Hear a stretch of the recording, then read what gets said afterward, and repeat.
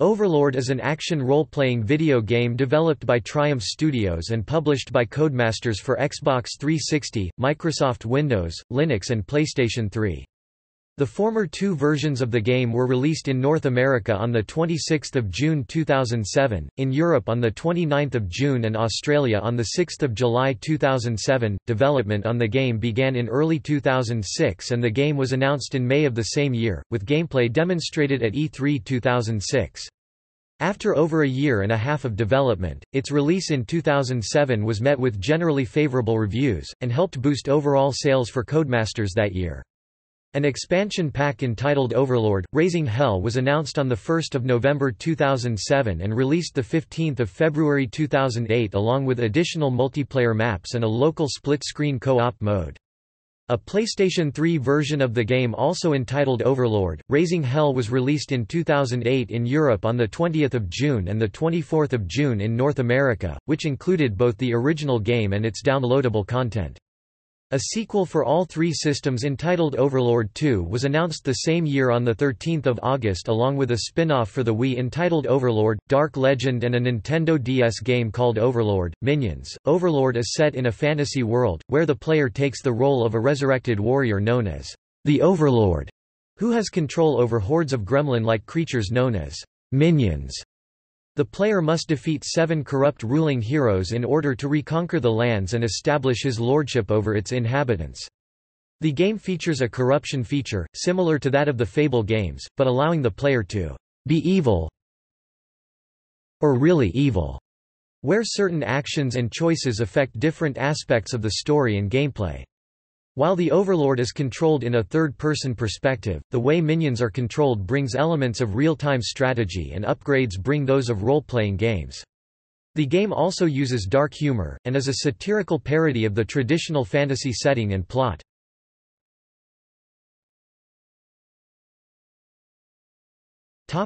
Gameplay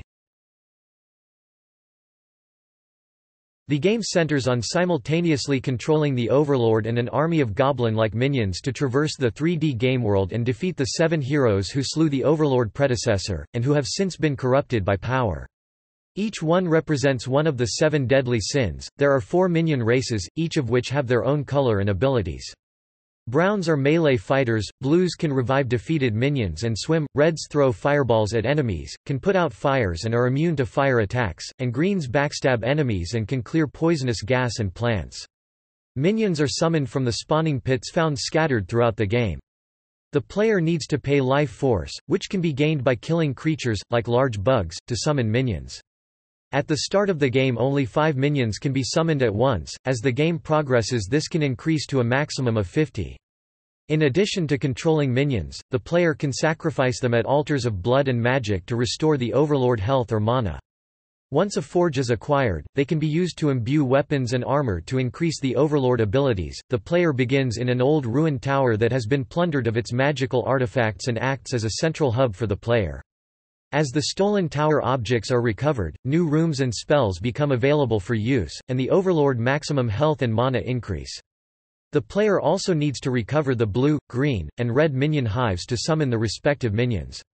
The player can customize the tower with a variety of visual items such as banners and statues. The available visual items differ depending on in-game actions. Armor and weapons can be purchased or improved in the forge. Most defeated enemy types appear as opponents in the dungeon, an arena where the Overlord can fight them again excluding bosses such as heroes and one-of-a-kind beasts. While the game claims that the Overlord is evil, the quests show him being more of an anti-hero. It also tracks how corrupt the Overlord is in accomplishing his goals. During the game the Overlord is tempted by each of the deadly sins while trying to kill their corresponding heroes. The player's choices will influence your corruption level, either raising or lowering it. Slaughtering inoffensive townsfolk, stealing gold and other activities can also increase the corruption level. The corruption level changes the way townsfolk treat the overlord and will also change his appearance, a system similar to Fable. As corruption increases, the overlord armor will become more devilish with horns protruding out of the back, shoulders, elbows and knees and he will acquire a black aura. The corruption level also determines which game ending the player sees and which high-level spells they can cast. The game offers several multiplayer modes. Slaughter pits two overlords against each other in a head-to-head -head combat with potentially hundreds of minions. In survival, two overlords team up against large armies of enemies. Pillage is a competition in which two overlords and their minions compete to see who can pillage and plunder the most gold in a selected amount of time. The Xbox 360 version provides voice chat over Xbox Live. In the PlayStation 3 version Raising Hell, the game features a mini-map on screen to help the player navigate through the game's world.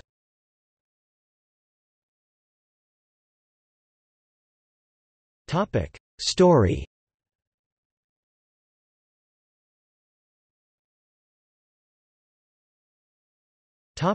Characters The player takes the role of the Overlord, the game's silent protagonist, anti-hero, whose motivations and personality are left for the player to determine. At the outset of the game, tiny gremlin-like minions pry open his coffin and revive him. In rapid succession, his minions shove him into armor, name him successor to the previous Overlord, and task him with slaying his predecessor's murderers, the Seven Heroes. In the intervening years, the Seven Heroes each fell prey to one of the seven deadly sins. Despite recalling nothing of his past, the Overlord begins to rebuild the tower at the suggestion of his advisor Gnarl. As the new Overlord, the protagonist holds absolute sway over his minions. Complementing this power, he possesses some proficiency using axes, swords, and maces.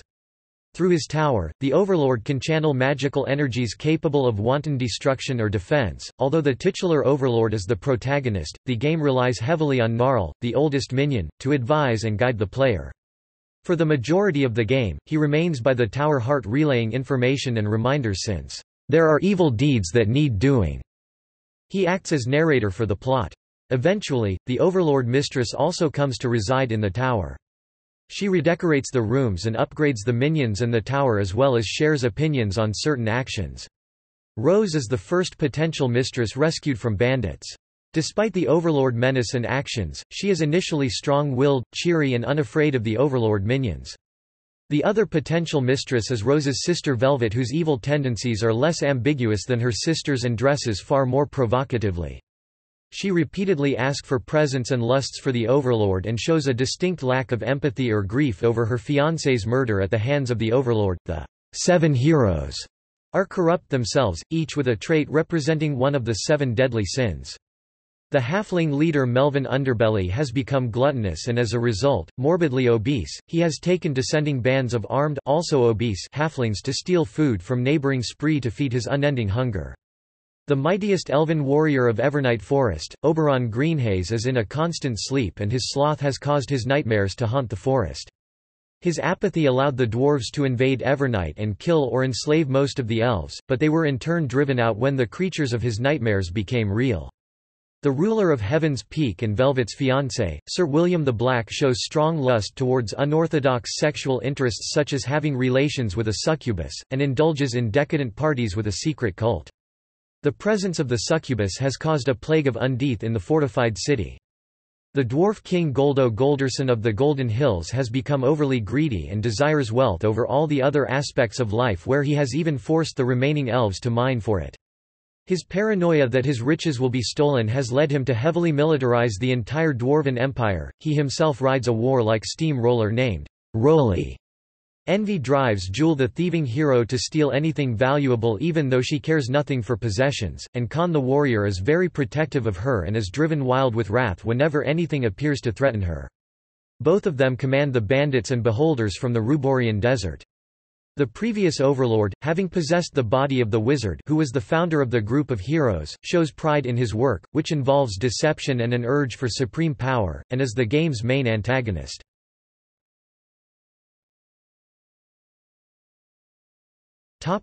Plot The game begins where Gnarl and the Brown Minions awaken the Overlord from his tomb. From here they suit him in his armor and proclaim him overlord in his old and dilapidated tower, the previous overlord having been killed by heroes, ready to reconquer the lands. The overlord first turns to the Mellow Hills, where the halflings and their leader Melvin Underbelly are using the townspeople of Spree and Red Minions as slave labor. The overlord storms the halfling homes, slaying Melvin and reclaiming the Reds and Spree to the peasants' delight or disgust depending on whether the overlord returns their stolen food. Castle Spree however has come under attack by bandits. After flushing them out, the castle mistress Rose offers her service to the overlord. At Evernight Forest, the roots of a tree where Oberon Greenhaze sleeps cover the elves' home, nearly extinct after being ransacked by dwarves. The green minions are found and Oberon is slain. The elves' sacred statue, however, has been stolen by the dwarves, angering Jewel, the thieving hero, who wanted to steal it for herself. At Heaven's Peak the town is overrun by zombies and demons. Here the Overlord gains the blue minions. At the town's inn, it is discovered that town leader Sir William the Black had fallen for a succubus, calling off his wedding to Rose's sister Velvet. Killing Sir William in Angelus Keep, Velvet offers her services to the Overlord and he must choose between her and Rose. The Overlord then turns to the dwarven Golden Hills and their leader Goldo Golderson, who has become greedy for gold. Here the remaining enslaved elves claim the last of their women are being held in the royal halls of the Dwarven Keep. Meanwhile, at the dwarf construction site, Gnarl recommends that the Overlord stash a few minions inside the elf sacred statue and allow Jewel to take it in order to follow her to her homeland, the Ruborian Desert. Back at the royal halls, where Goldo is defeated, the Overlord can either take his stash of gold or free the remaining elf women before the halls collapse. The Ruborian desert is found and Jewel is captured and interrogated. An enraged Khan the warrior, protective of Jewel, strikes back and the Overlord now has to save Spree and Heaven's Peak from his wrath. Back at the tower the minions submit to the previous Overlord who has secretly possessed the wizard, originally father to Rose and Velvet, and who now lays claim to his previous title. The old overlord tells the current one that he was originally the eighth hero who came to slay him, yet fell from a great height and was left for dead by his companions while they looted the tower. The old overlord however put him in the sarcophagus to heal his wounds in order to use him to defeat the other heroes. The Overlord battles the Old Overlord, during which the Old Overlord brags of being responsible for the corruption of the heroes. Upon the Old Overlord death, the Overlord reclaims his tower and minions. Depending on the Overlord corruption and choices throughout, the ending will show four of eight different ending cutscenes where either the Overlord is met with bliss and praise or he pillages and scorches the land and tortures the inhabitants. Regardless of the player's unique ending, the jester is shown performing some sort of ritual, with Gnarl narrating, "'Evil will always find a way'", opening up the events for raising hell.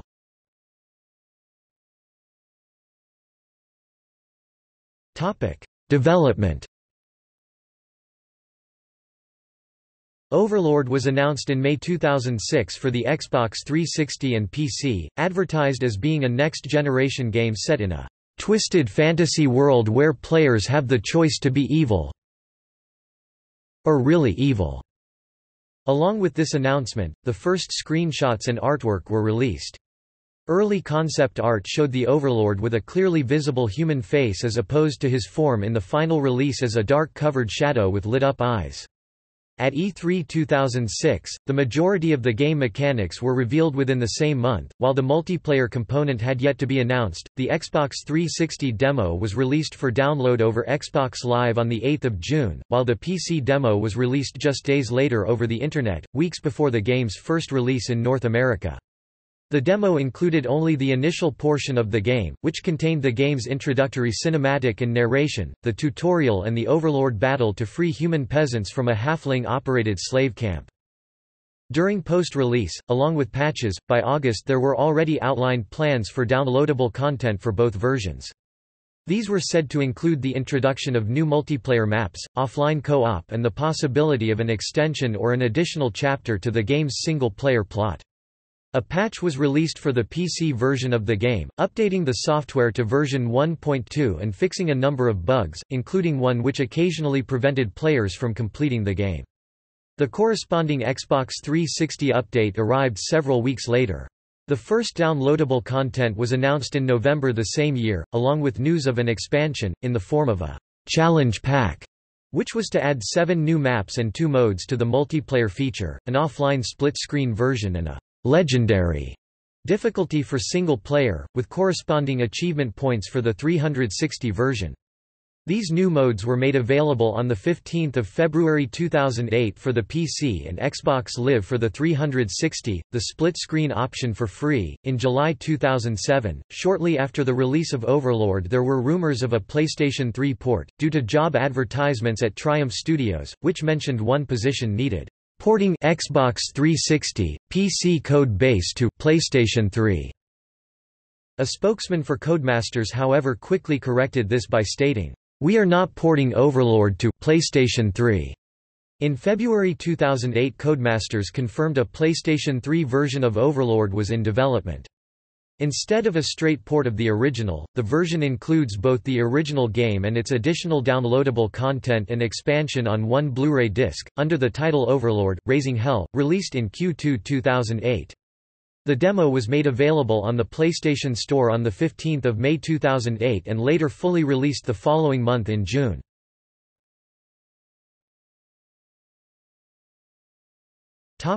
Overlord Raising Hell. On 1 November 2007, Codemasters announced Overlord, Raising Hell, a downloadable expansion pack. The premise behind this is that an abyss appears in each of the five kingdoms Mellow Hills, Evernight Forest, Heaven's Peak, the Golden Hills and the Ruborian Desert, causing the residents to disappear. In each of the abysses there is a hero being tortured and an abyss stone. In order to obtain the Abyss Stone and gain control over the Abyss, the Overlord has to battle Wraiths, the residents of the Abysses, and the fallen heroes. Once the Overlord has control of the Abysses, he will be able to battle the one who summoned these Abysses and fight for the domination of his realm.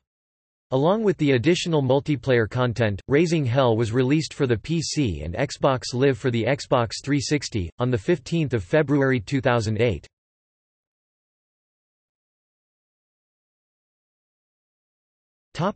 Reception Before its release, at E3 2006, Overlord won GameSpot's E3 2006 Editor's Choice Award of Best Surprise. Overlord gained a generally positive response from game critics with an average review score of 77% for the Xbox 360 version and 81% for the PC at GameRankings. Many praised the game for its concept, noted for being similar to that of Pikmin, which was popular for the same reason. GameSpot noted, "...the satisfaction of running amok with your legion of wickedly enthusiastic minions is what makes Overlord worth playing." While Game Informer praised the game's personality, notably that of the minions, where the satire is funny, and the evil is deliciously over the top, but the minions are the real stars. IGN stated similar prose, calling it, "...evil, yet light-hearted, humor", and that with the "...richly detailed world combined for a game that is worth diving into." OneUp.com noted the personal element of controlling the minions, stating, if they minions die, just call up more. Something happens along the way, though, you start getting attached to the little guys." Despite the game's premise as the choice to be evil or really evil, Numerous reviewers pointed out that some of the game's choices within missions are more good than evil, such as, for example, the option to return the peasants' stolen food stocks. While mentioning this too, Eurogamer added that, since the game humor is mainly satire, these good deeds kind of becomes the joke. Especially early on, there's a fairly obvious irony in that everyone else in the world is assuming that you're this brave hero when in fact you're clearly a sociopath. In December 2007, Overlord was included in Eurogamer's top 50 games of 2007. Other reviewers noted that the game can become frustrating at times, due to the controls not being able to keep up with the game's pace, and apparent glitches between platform and regional versions.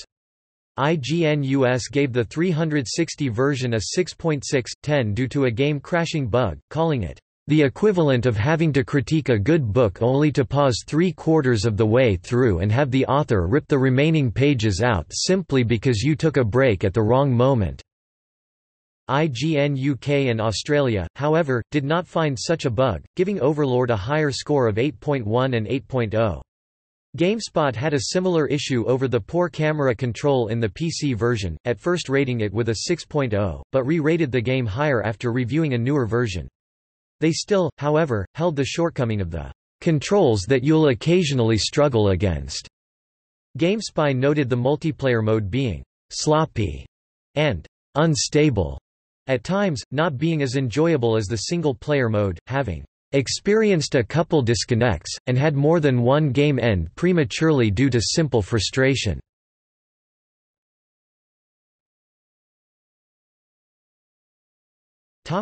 Sequel and spin-offs